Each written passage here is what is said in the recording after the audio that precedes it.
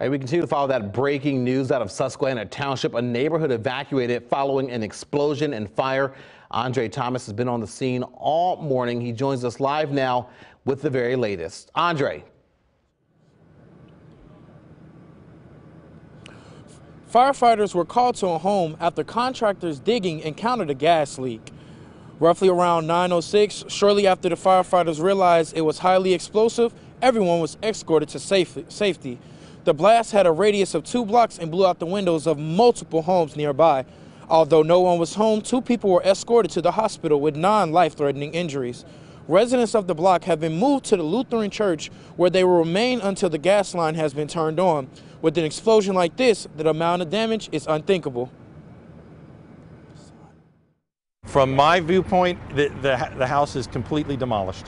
It's, it's, yeah, it's, it's to the basement and there's still there's still some smoldering. We're going to have you know fire service on scene here for quite a while.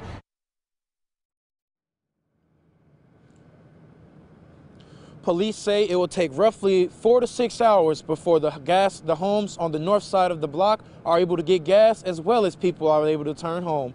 I'm Andre Thomas Jr., ABC 27 News. Back to you, James. All right, Andre, thank you very much for that live report. Of course, we're going to stay on the scene of that. We'll have the very latest update on that tonight on ABC 27 News at 5.